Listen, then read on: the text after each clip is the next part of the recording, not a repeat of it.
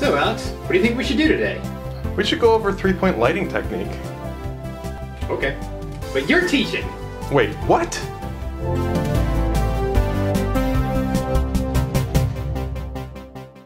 All right. Well, today uh, we are. What you're looking at is a basic, very basic three-point lighting system, and because I am in charge, Scott has to do whatever I say. In this case, be my model. If you're there, who's behind the camera? Uh, John's helping. Oh, hi, John.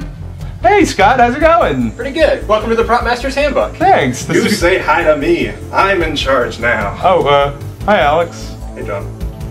You done? Can we- Yeah, let's go. All right. So, uh, first thing I want to go over is what you're gonna need for this very cheap, very basic uh, three-point lighting system. First thing is clamp lights. Um, they're really inexpensive, about ten dollars a light, compared to hundreds of dollars for real professional ones. This is a much better deal, and they're really easy to use. You can clamp onto pretty much anything. Show them how it clamps. There you go. All right. Now, Scott, sit really still because I'm gonna go through these lights. So, we're starting off with basically nothing. You can barely see anything in the camera right now. We wanna get some light on Scott's face. The first thing we'll wanna do is add the key light. That is slightly to one side of his face, and it's gonna be our brightest light source. You wanna have your key light on the side of the face that is further away from camera. So Scott, if you turn a little bit towards me over here, no, other way, uh, that way, that's kind of the, the placement where your brighter light is gonna be. Our second light is our fill light. It's kind of darker, but it's gonna, it's a softer light, it's a little less bright than the key, and it's just kind of filling in all the shadows that you're gonna get by using a key light.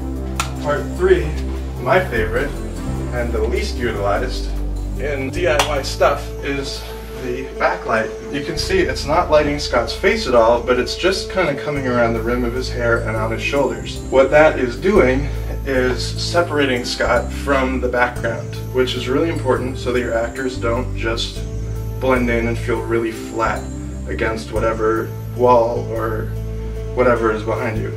So you can see, I turn off the backlight real quick. Go through them again, adding in each time.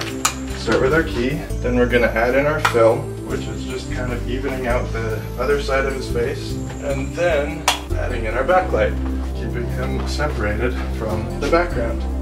And that's it. It's super simple, really cheap, really easy, and something that's gonna make your film or really anything where you're using lights look a lot better.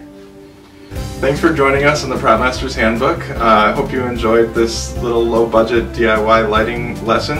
If you want to learn more uh, and enjoyed this lesson, comment below with other uh, topics that you want to learn.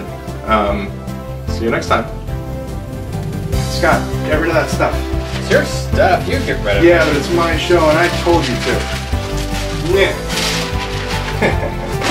How do you guys get anything accomplished?